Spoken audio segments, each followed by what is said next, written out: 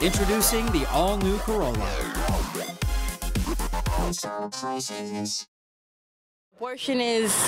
not the best choice that we can offer to our, our the women of Guam and to the children of Guam.